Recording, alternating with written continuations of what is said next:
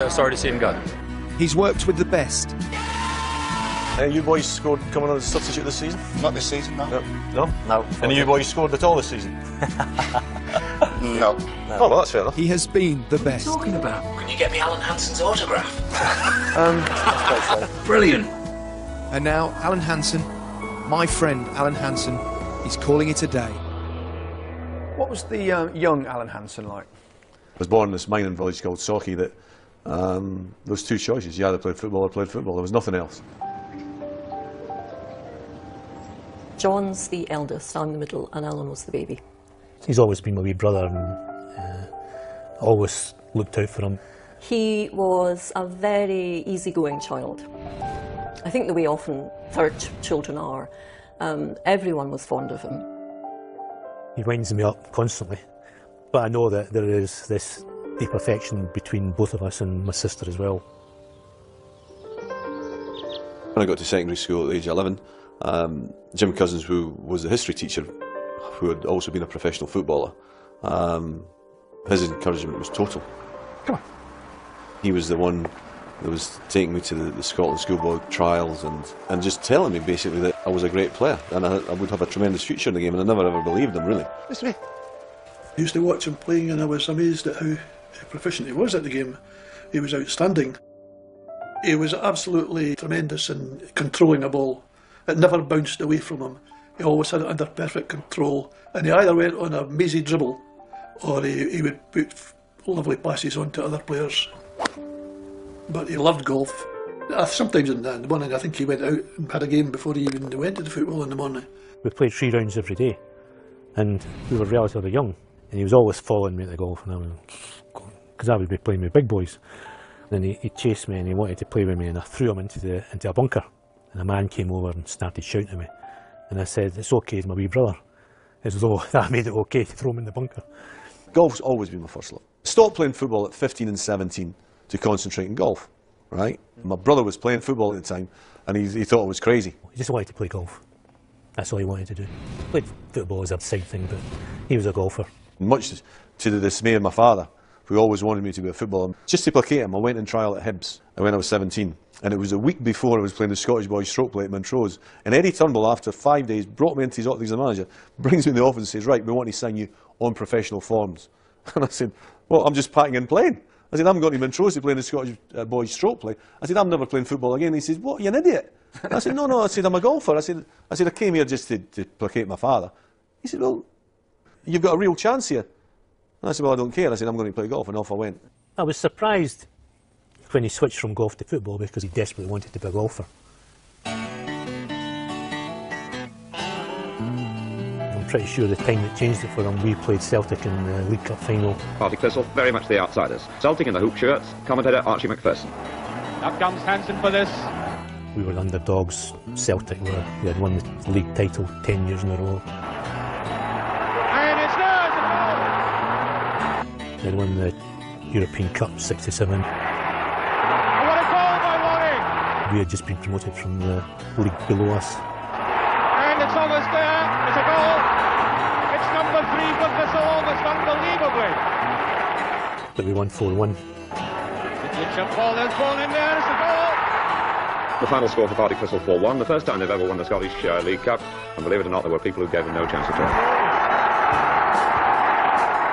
When we came off the park at the end, I looked up to the stand and I saw Alan sitting in the front row, and I've never ever seen him so animated. And, and I think that was the time he realised, I think I maybe want to be a footballer here. Seeing the adulation, I think, for the players and the success and, and how it was possible for dreams to come true, I can imagine that that would have had a huge impact on.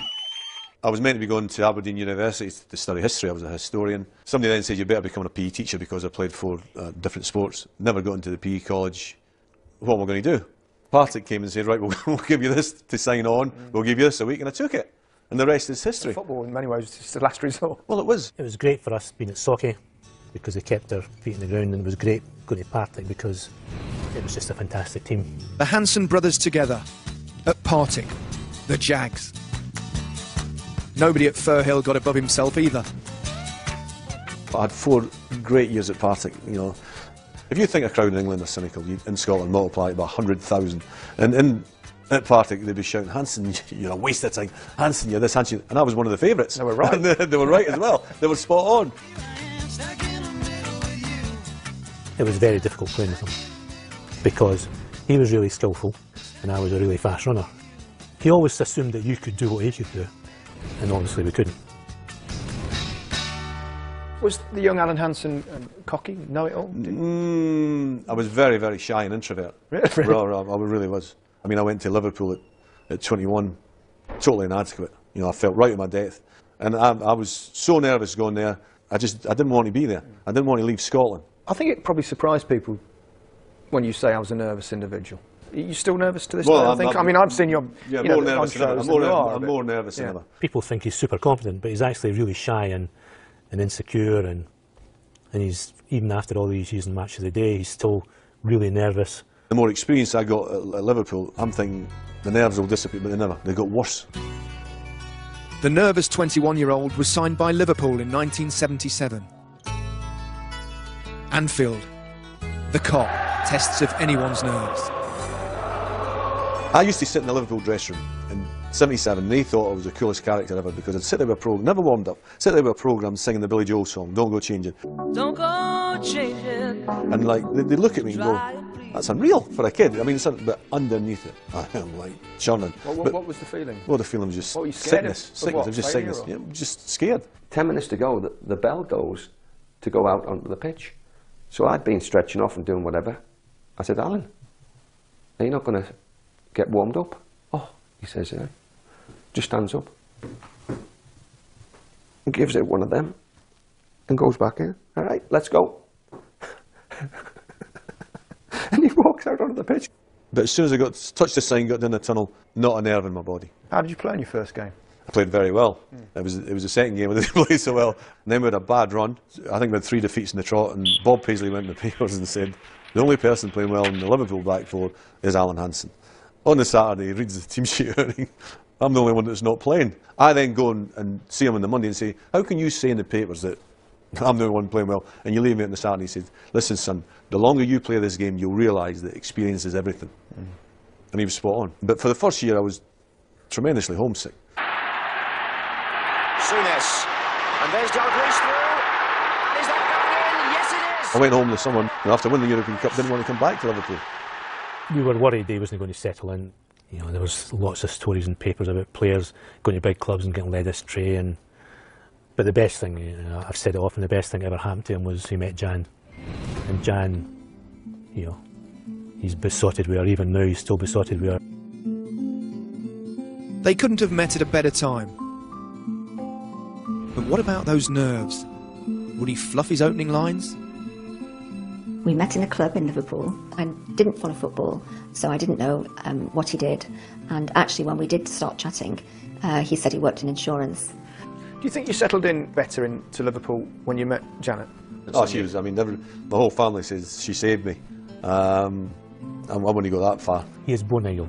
He is born idle. He will play golf. He will go on holiday. He will try to do as little as possible. The only thing that is going to prevent him doing that is Jan. She's sweet and she's lovely, and he's horrible and he's miserable. So you, you just don't really put them together. We got married in 1980, um, in the June, and then we had Adam a year later, next June, and Lucy three years after that. They make a very good couple. Uh, I think I think Mum's probably the only person who um, Dad would ever concede he's wrong to. He's t- totally himself when he's at home. Uh, on the TV, he's quite a serious, hard man, whereas he's the total opposite at home. He has a very soft side, which I think he would be at pains to hide from people. And when the chips are down, you can count on Alan, you know, for support, for love. You'll never ever see him at fancy parties, showbiz parties.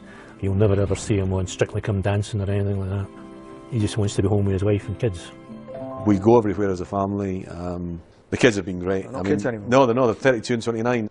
The potential for them to grow up to be brats in that environment was immense, but you couldn't meet two nicer kids, and that's down to him and Jan. And and that's for me, that's his biggest achievement.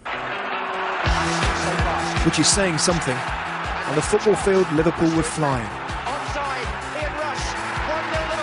In seven seasons from 1978, they won the European Cup three times, the league five times, four League Cups. There would be more when he was captain, but this was the age of pure joy. In, in your playing career, so much success. Highlight? So many, I suppose. European Cup final, 78, um, double winning captain, 86. 86. 86, great year that. Um, 84 in Rome, amazing in Rome. We're in the tunnel and we've got three guys that played for Middlesbrough, Graham Souness, Dave Hodgson and Craig Johnston. And they start singing this Chris Rea song, I don't know what it is but I love it. And so everybody started singing it. So the Roma players, they just looked at us like we were like off our head we were. Bruce Grobbelaar has a little chat with himself. Francesco Graziani against Bruce Grobbelaar. Graziani over the top, It was such a great night. and Alan Kennedy has won the European Cup for Liverpool. To go in there and, and win a penalty shot was fantastic. Liverpool have won it for the fourth time, and the cup is lifted, and it glitters silver. Who's the best player you played with? Kenny? Oh, Kenny was the best Kenny player. was a great and then, player. yeah, was, and then Graham was next. I mean, I go to Liverpool as a 21 year old, first Scotsman there in that era, and then I get followed by a couple of lesser known Scots called Dalglish and Souness. Cross here for Rocastle. Off the line, Alan Hansen. Hansen at the back, Souness in midfield, Dalglish up front. Outstanding finishing. They can still knock a ball around. Sort of. We're not in Florida, you know. Sort of, don't want to show the dandruff. Only the best players in the world can do that. He just said to me, it's 30 years ago since we played in Rome European Cup final. He actually remembers a ball he passed to me and I miscontrolled it. So you, uh, is that, He did that quite a bit, to be fair. he used to come and try and take the ball off me, and I'd say, Well, what are you coming back here for? I'm a better passer than you are.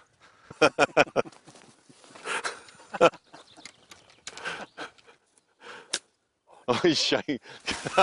Kenny and I live really close to each other, but Graham lives in Poole somewhere. But Graham Souness is, is a type of person. You don't see him for five years and you can pick up like that. At the start, when you came, I was the first Scot in that era, so I really didn't know what to expect. You know. how long did it take you to become a bully? You two were ten times worse than I ever was. Just because we tried to portray the jocks as the master race. and, and, and that, that wasn't very difficult because the average IQ in there was about minus six. it was, it was, it, it wasn't difficult to, to The higher up you go in football, the dressing rooms, the, the banter is more severe. Hmm. You know, the humour is more severe. It's like, I can't wait to get into work. you just can't wait to get there because all the, you know, the banter and the, the mickey taking. That's why it was so successful and so good, wasn't it? Because in the dressing room, there was nobody arrogant. Was it? No, it was. There was nobody any. We weren't the best professionals, trained properly, but mm. enjoyed a night out and maybe drank too much alcohol. Speak didn't eat for the right- yourself. didn't right. All of us didn't eat the right food. And we were playing against teams like the Germans, like the Italians, who would still beat them easily. And the longer the game went, the more tired they got and the stronger we got. Maybe comes into desire. Yeah, I think it's the combination of everything. Isn't it? Many people used to turn up to watch us train with a notepad. Aye. On the first day, right down. Walk to perimeter, jog to perimeter, five asides, sprints, five asides, sprints, finish. Second day, they write it down. Third day, there was no writing. It was notepad was sitting next to them. These guys would say to me, "Do you come back in the afternoon and Aye. No. do your tactical stuff?" I said, "No." Do you come back in the afternoon. I remember that I go to Kenny's for uh, Christmas Day. Right. Right. And Kenny says, Graham's coming. Right. So you come through, and just the usual. What happens? The champagne comes out, and this is like the day before the game, and, and Kenny says, well, we'll just have one glass, and of course, well, and we go on the bus, and I thought to myself, I said, oh, we had a bit too much here the day before the match, and blah, blah, blah. And we beat, we beat them 3 0. we beat them 3 0. And we all played really well. You remember when we used to win things? You know, win a trophy, there was a jock picture. Why did you never ever join in? Yeah, because I was always on the outside, and when it, when it hit the, the papers, You they cut me off. up. Right, right. So I got in the middle, but the, the best one, you'll love this, the best one is in the bar at um, Cameron House. There's 50 great Scots, and the good thing is you're not in it. But anyway, first time we were there, Janet comes back to me and she says, 50 great Scots, you're in the picture. So I was like, am I? Did you right. right, so anyway, I go down there and go into the bar, and like I'm looking everywhere, and I'm thinking, to myself, like, pictures, like, I'm not on it. Where and then I eventually see a picture of him, right? European Cup final in Rome, and my right ear's in it. You can tell it's my ear, just my You're ear. in, you're in. Well, the ear. Is that 50 great Scots 50 great and Scots and the ear Al's of ear. you. Yeah, in that era. to have played with, you know, two of the great players was fantastic. But they were all great players. Every one of them that played in that team was was exceptional.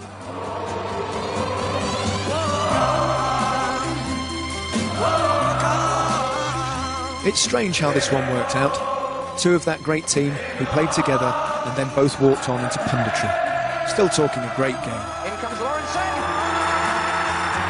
Always a double clip. You double clip? No, no. Oh, I'm just that was gonna- brilliant. Makes you feel invincible. Is that every single time? Yeah. And then down and out, and hear the noise, the sound of the noise greeting you.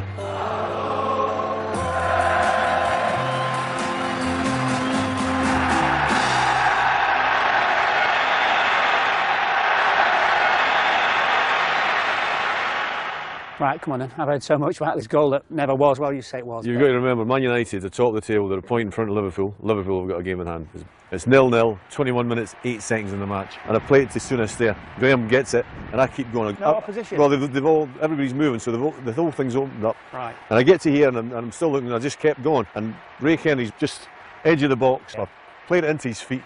Ray Kennedy's played it back to about 22 yards out, and I'm Oh, thinking 22 exactly? 22 yards, about three inches, and I've just put my foot back, hit through it, and pinged it into the bottom corner. Did you look like where Gary Bailey No, no, was? no, and no, I just, I, just, I, hit just, it"? I just hit it. I just hit it in the right hand side. A centre back I that's played remember- two one twos and run 65 yards and buried it in the corner, and not one camera in the ground. You'd not one camera. to see the Nobody's, on this, nobody's ever seen that Right goal here, unless you're in it. But the big thing there is like nobody ever believes me when I tell that story.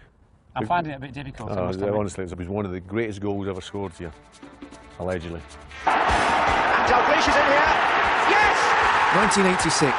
Alan is now Liverpool captain, and Merseyside rules. Liverpool and Everton going toe to toe in the league and in the cup, all the way to Wembley. Is this three? It is! 1986, Kenny was the manager.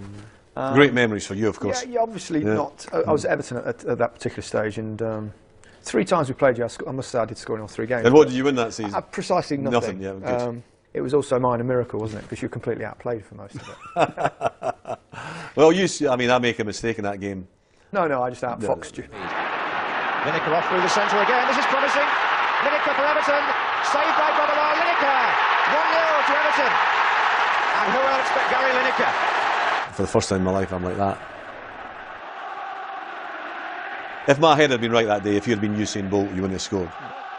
But everything's about the result, as you well know. It was a great day. Just seeing the, the sea of blue and red together. It, was, was great. it was fantastic going in Wembley Way, and the Evertonians mixing with the Liverpoolians. It was a great example to the world, I thought, about how uh, a city could come together. Never before have they won the league and cup double. And now the moment is here. What a consolation for Alan Hansen in the week he was left out of the Scotland World Cup party.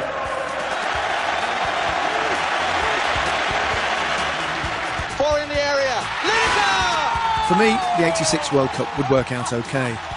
But for Alan, it was an immense disappointment. He was left out of the Scotland squad by a certain Alex Ferguson. It never entered my head that there was a possibility I was going to be left out. So we played on the Sunday in Kenny Testimonial, and Alec Ferguson was uh, the manager of the home Scots. And he never said a word to me. He said, and I thought, well, that's unusual because Alec always comes and you know talks to everybody. And I thought, you know, there's some strange here. But you know, still couldn't believe that there was any remote possibility I'd be left out. And then the dreaded phone call came on the Wednesday. But even then, when he told me, it never really sunk in. It was only when the reports started to come back from the training pitch at Santa Fe and then on to Mexico that you know I felt really dejected. People keep saying, why do I hate Manchester United so much? And I would say Alex Ferguson, because he didn't pick Alan for the World Cup. And it's just harboured with us all these years because he was at the peak of his form, peak of his career, and he took the two Aberdeen players because he'd been the manager at Aberdeen. Alan never said too much, but he was gutted. You know, I just said, well, I've got to accept your decision. You pick the team, you pick the squad of players, and you're the manager. And I just said, well, I wish you all the best. Liverpool have won the double. If you had said to me, do you want to be a double winning captain or go to the World Cup, you'd probably take double winning captain. So I'm more made up for the lack of Scottish caps for what I achieved at Liverpool. So I haven't any regrets with that in the slightest.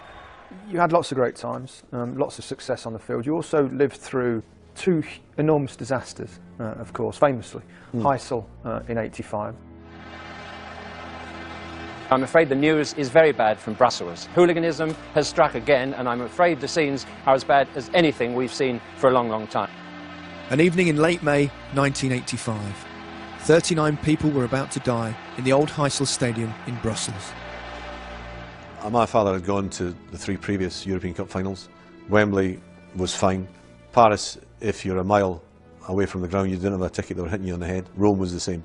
Heysel, every man and the dog was getting in there. My dad said he went with his ticket, he said, no, you went in with a ticket. There was nobody at the turnstiles.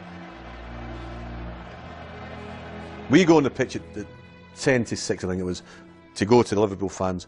There's a kids' game on the pitch. We had to go on the pitch to go to them because they're throwing missiles at us, Juventus supporters.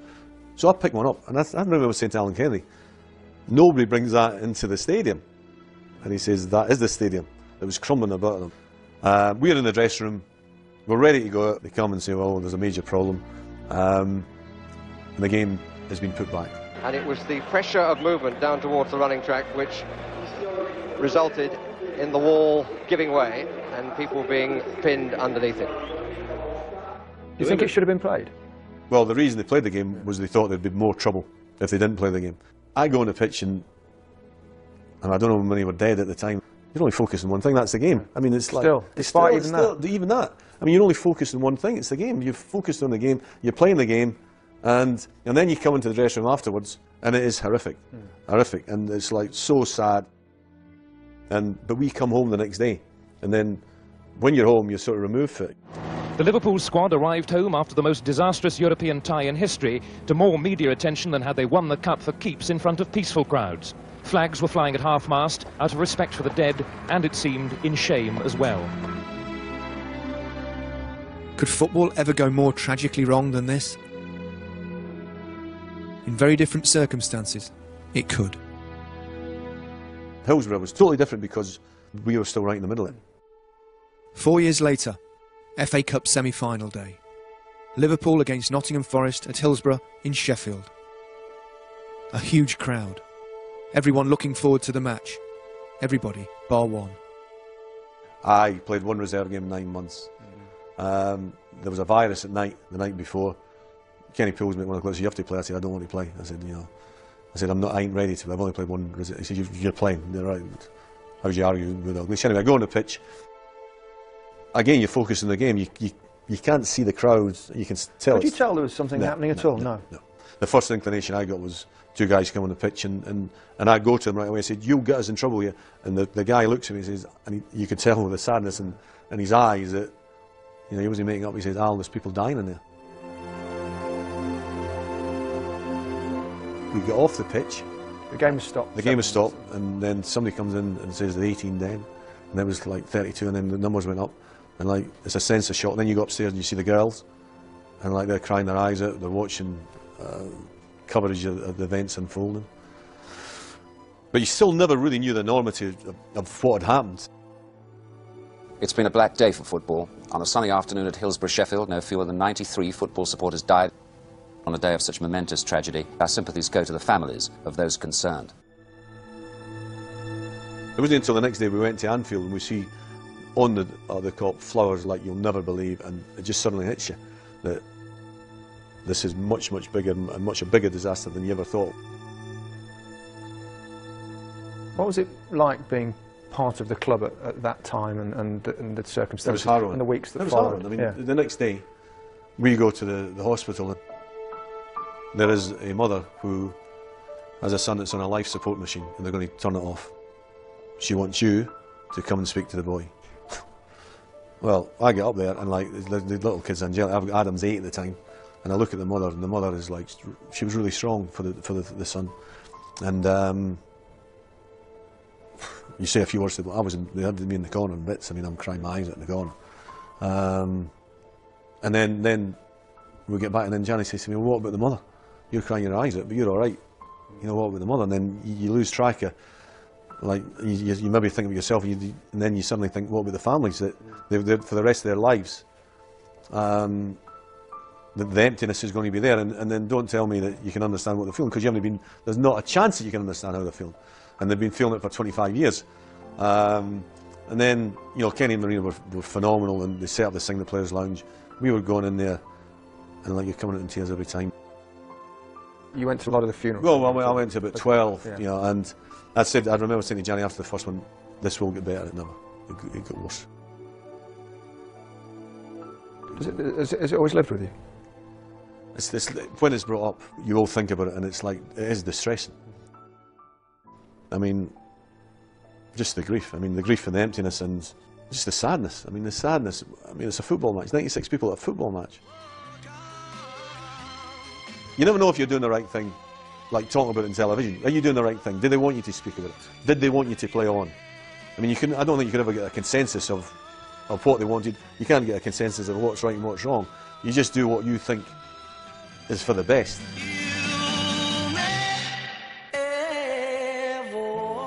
Twenty-five years on, Hillsborough is still with us, still resolving the questions about what happened at a football match a quarter of a century ago. 18 months or so after that, Kenny Dalglish quit as Hmm. manager of Liverpool. Do you think Hillsborough has anything to do with it? Hillsborough took its toll on Kenny. Did he confide in you before? They he- confided me in virtually everything, football-wise. I mean, he, he told me in '85, in the February, that he was he was becoming the new manager of Liverpool. But this time he didn't. He just came into the dressing room and said, "I'm leaving," and I, was, I went, "What?" I just felt that I'd gone far enough, and I didn't think that I could I could delay any longer. Having played over 500 games for Liverpool and with a record eight championship medals, Alan Hansen is strongly tipped to now join the management team and take his place in the famous boot room, and maybe in the top job. I come back to the training ground. I'm 64 on to get the job. So I then go to the chief executive, Peter Robinson. I said, "Am I in the frame for this job?" He said, "Oh, very much so." I said, "Well, I don't want it." He's a Liverpool legend, and I think he thought if he did a bad job at management, he should lose all that. Am I right in saying that you might have kidded the Liverpool players on that you did get the job? What happened was Liverpool had been beaten at Luton on the Saturday and then been beaten again by Everton. So I went to Ronnie Moran, who was acting manager, I said, look, I said, they've always taken the mick in the dressing room. Why don't I go in and, I gave him the biggest spiel of all time. He said, I've got some news. I'm taking over from Kenny. So everyone went, whoa, this is amazing. We never saw him as a, as a manager. He gets up, he said, there'll be a lot of changes. He said, Steve Nicol, there'll be no more going to the pub, no more going to the Albert. He said, those days are over. He said, John Barnes, he said, you, he said, I know you're partial to Kentucky Fried Chicken, there'll be no more of that. And he went around the whole team, and they were looking at him thinking, what's he doing? I can't believe it. And then, then the best bit is like, what we're going to do is we're going to video the game on the Saturday, have a little bit of light lunch on the Sunday and go through. So that by that time, like, that. Know, then he walks out, and all the players then start whispering, saying, oh, we liked Alan until he did this. I go down to the players' lounge, and there's two Irish kids that have burst out the reserve team dressing room, and this little kid gets on the phone to Dublin and he says, get as much money as you possibly can on Alan Hansen to be the next Liverpool manager. So I've got to put an end to it. I've got the phone done, went back to, and all I can hear is Hansen's at. He came back in about a minute later. He said, "Not really, guys. I just want to say I'm retiring." But it was just typical Alan Hansen. He always had a joke. First person I see is John Barnes, and he went like that. so and I said, boys, I'm only kidding, I'm leaving. I thought Alan Hansen would have taken over after Kenny had left because Alan's knowledge of football is fantastic. To the biggest cheer of the ceremony, holding up the league championship trophy. But I suppose the telltale sign is the fact that being such a nervous player and hated the pressure of having to play, imagine because being a manager is 10 times worse. Bill Shankly, Kenny Dalglish, Graham Souness, Scottish managers of Liverpool. So, Why did you never have a go at the management? Well, I wanted to keep my hair relatively black, but You've not done that th- either. th- that's gone as well. I just never fancied it, you know. Yeah. Would I never, never By the way, it. let me tell you, he wanted to keep his hair relatively black. I think supplemented it. Never at any stage. No Well- tint whatsoever. And when you went into television, which is something I've done yeah.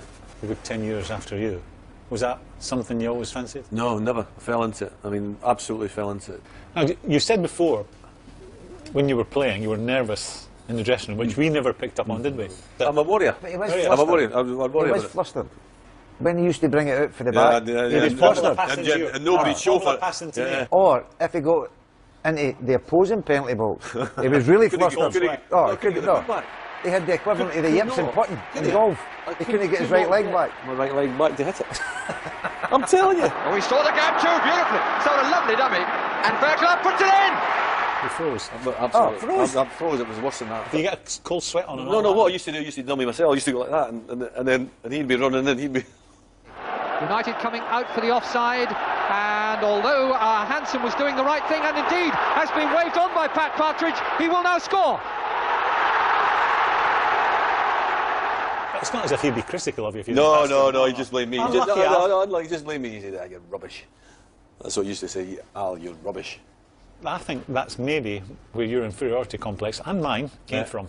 Kenny, absolutely. Abusing us all the time. Over the years. By the way, let me tell you, I had plenty of ammunition. I'd realised at the time that as a player, if I was feeling the tension as much as I did, to become a manager is like you can multiply that by 100. I think Alan could have made a good manager. He, you know, his knowledge of the game, the way he puts himself over, is absolutely first class. Hansen read that. He is one of the people that, you know, when I sit down at home and, and watch, you know, match of the day, he is one that I'll sit down and listen to. David Hodgson, yes. So you finished playing, you don't want to be a manager. How quickly did you decide to go into television?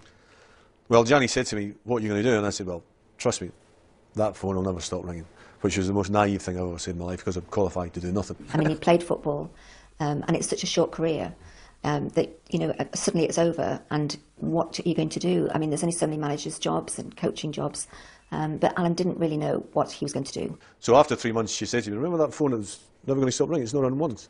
so I had to get off my backside. And I went to B Sky B, who were doing Classic Cup finals. The phone rang, and it was a certain Alan Hansen saying, "How do I get into television punditry?" And he came and uh, did a few uh, jobs for us, and was brilliant. And obviously, the rest is history.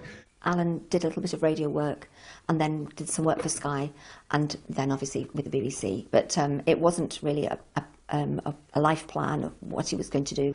I was doing the radio, I was doing a bit in Sky and a bit in television. It was a great grounding for Match of the Day. Good evening. The Premiership season is underway again, just another 37 weeks to go. 1992, a time to be daring. Who might lead the way in this new age of analysing and offering opinions? We'd just got a match of the day back after a four-year absence, and everybody was very excited. Um, Desmond Lynam was in his pomp at that time. Good evening. I suppose it's back to the future tonight. Match of the day returning on a regular basis after a gap of four seasons and 28 years after the very first programme. I don't remember it. Alan was a new boy, but they hit it off very quickly. We'll be doing our best to be sharp up front and tight at the back. They'd got the experience of Jimmy Hill, who had uh, done a lot of television jobs, so it blended and worked very seamlessly from very early on. Well, I tried to play a continental system with British players, and I couldn't agree with that at all. He's been very good. I- I'm glad he was left in the studio because I worked with him once in commentary uh, and I couldn't get a word in sideways. I think on Match of the Day, Alan created a genre whereby he was able to control the excerpts he used and make sense with what he said straight afterwards. I think he fitted into the demands of the programme better than anybody else I've seen. That second goal was a bit reminiscent of Dalglish at his best. He runs a bit quicker than Kenny did in his prime, mind you, but He and I were completely different when we were watching games. I watched it like a football punter, like the ball going from end to end. But I couldn't see why this team were winning 3 nothing. But he could say, well, it's, that midfield player has lost this, their midfield player, and blah, blah, blah, blah. And he would see it all. And you could tell you why this team's three up. If we say it's a brilliant goal, Hansen says no defensive error. Why do you think you became such a good pundit? I worked with a lot of good people, and Lynam was just the best. I mean, I was fortunate to have him. I couldn't believe how nervous he was. Alan Hansen, this great star of football, won the league championship untold times, came on the show nervous as a cat. Alan always had that brain that analyses things. Des is really relaxed and laid back. The conference is over. Nothing to say. We're going to have some football, apparently. I think Des would have met him and thought, I can help this fellow. And the combination of the two then really worked. I just think he's playing with so much confidence, it's unbelievable. We were just only going to show the goals. You That's don't- how it used to be. Yeah, It yeah, yeah. just you- the goals. That, that I'd say to Desmond, you want to get away from that, I say, because you'll have replays of the goals. You want to try and do something different. This is classic centre forward play. There's no way he should be able to get into the box from here. But with strength, determination, and excess pace, he gets away from Bart Williams and he just drags his shot wide. Then we got a bit of recognition for what we were doing and never really looked back. You talk a good game. I wish I could talk the same. I know song is just a game. It helps if you've been a top class player and you've won a bit. It helps if you're forthright. It helps if you can speak. And it helps if you're going to speak your mind. Well, it, it looks like it'll be the goal of the season. Obviously, I'm going to find a flaw in it somewhere. If Alan were to say after a game, Jamie Redknapp played well, or look at this from Jamie Redknapp, I was so happy. That made me feel a million dollars because it was a respect that you wanted as a footballer. It's an acknowledgement that you'd done well, and um, and it came from, from someone like Alan Hansen. It meant so much. You know, Match today is such an important show, and you always felt when Alan Hansen spoke that that was the final word, that that was the authority. I grew up on him. He probably won't like me saying that, you know, but uh, you know, he, he did everything in the game, and obviously he gets his points across quite well. And when he speaks, people listen. He had credibility when he finished his career and he was able to deliver it very well too. That Scottish accent always helps. The whole defending is like the mother of all shockers. It's the worst defending I've ever seen in my life, bar none.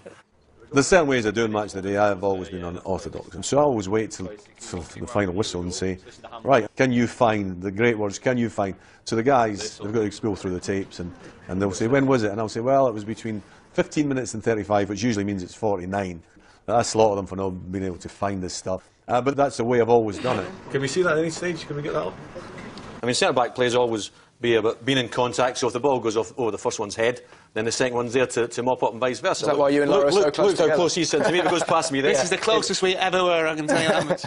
If it goes past me there, there's I used to get nowhere between yeah, you. yeah, yeah, yeah, in your dreams. Anyway, Lawro is, is a natural talker, so I think it was easier for him than for anybody else. Shouldn't um, shouldn't I be there and you? Be Should here? be, but I'm, I was always covering for you anyway. So Yeah, it was- right. right. And Falco's got it away from Lawrenson. And here's Crooks, covered by Alan Hansen. See, just like Nearly- just like when we played. Nearly bumped into him. Right, yeah. They say, "What was your relationship like as a player?" I said, well, I just did whatever he told me to do. It's called delegation. Yeah. Because I actually, when- said, I said, somebody said to me that you don't want to be heading it, right, long term. I said, Lawro, you head it. And then somebody said to me, you don't want to be tackling. Yeah, Lawro, you tackle. And then somebody said to me, you don't want to be running. I went, Lawro, you run. Very good at doing nothing. Right. And then take the accolades.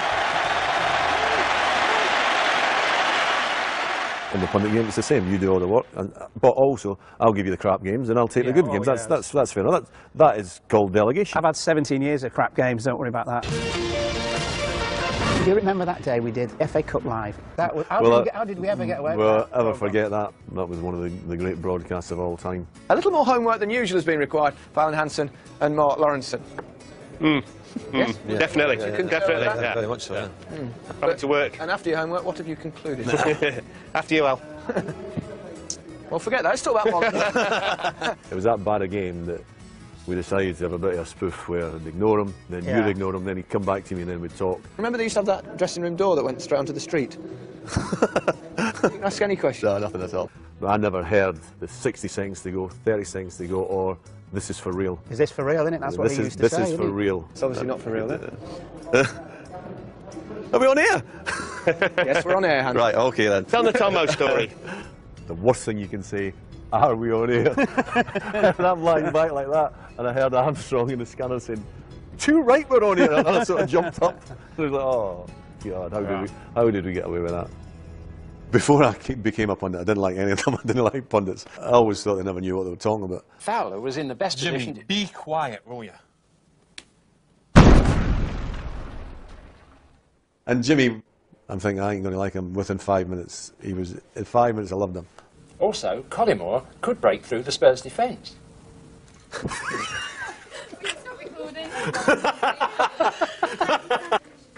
You won't get it better than that.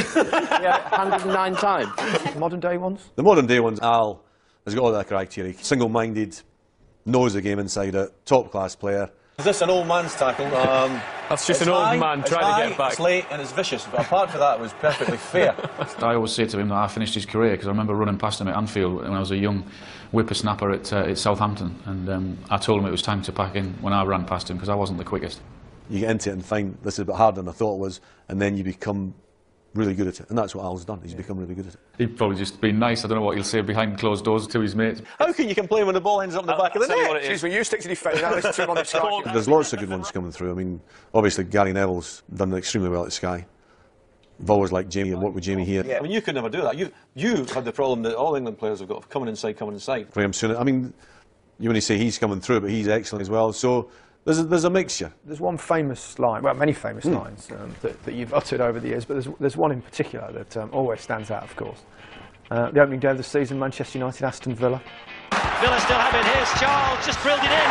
Taylor scores. Draper. It's 2 0. And we've played just over 35 minutes. It's in danger of becoming a real rout.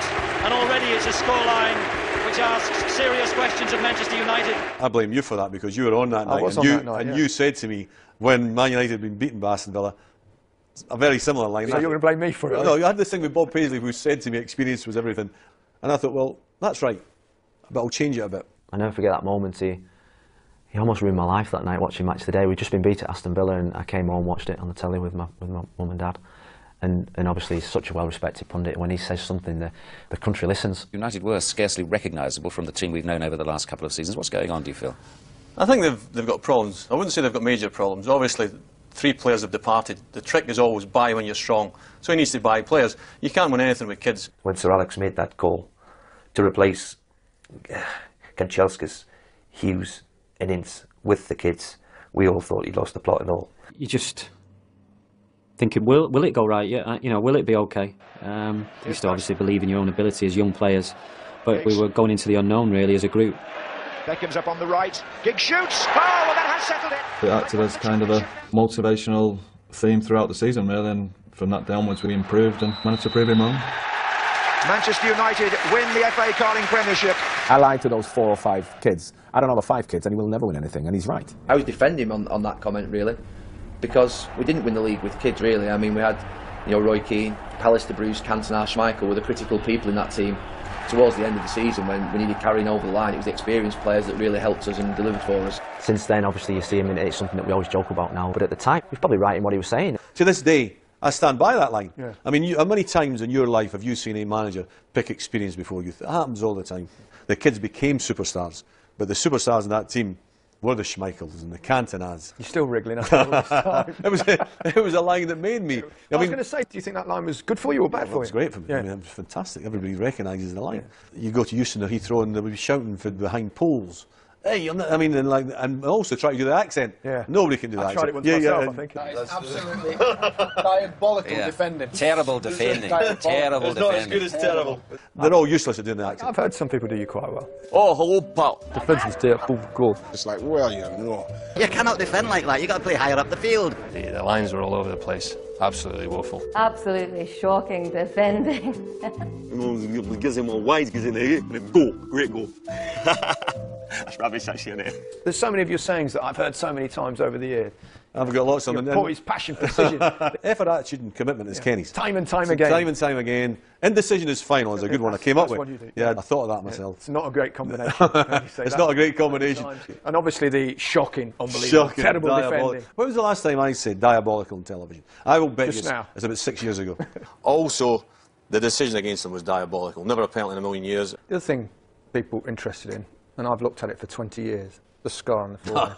Where's that I was from? playing volleyball. We were playing in a youth club in Bridge of Allan. Uh, missed the bus. I see a, an opening. I think it's a door. and he went through the glass window. The sun was shining, he just never saw it, he went right through it. I'm lying there. I don't know I've hit it. I don't know the blood's coming out like that. And I don't know you can die. First person I see is my brother who says, Brain of Britain. It's a fair but, comment. but yeah, well, three people had hit it that day. And I was the only person that had gone through it. We sued the sports centre and I went to the court case. And Alan was with them the day before the court case because he's had his hair down. The day before it, he had his hair swept back. So the judge said, doesn't seem to bother you too much, this big scar, because you've got your hair swept back. So he got a few bob, but he didn't get as much as he should have. Brain of Britain. Maybe not. But give him a break. The brain of punditry. For 22 years, the king of the pundits. So that's it from Match of the Day. Definite decision? Absolutely. I mean, 22 years. Why now? Why? I just Still young? I, I think I've had a great time. I, I- you know, I went at, right at the very top at Liverpool. The last game I ever played was when we won the, the, the title in 1990. I think that I've had a great season in match today. I know I'm not going to miss it, and that is. You don't think you'll miss it? no. The minute I walked out the door at Liverpool, never missed it at all. And I know the minute I walk out this door, I'll, I'm not going to miss it. I think he's been a star on the show, don't you, down the years? He's a very nice man, good man, and uh, I'm sure all of us will wish him a, a happy retirement. You almost forget that he was a player with, with how good he was and how important he has been to, to television and to match of the day. Yeah, he'll be missed because he's very good at it. He's very good at his job, very well respected, and rightly so. You can't have been in it for that amount of time if you're not good at it. He's an iconic figure at the BBC, and he's, he's one that probably every pundit that's getting into the game aspires to be like. 22 years on an iconic programme with the best people working for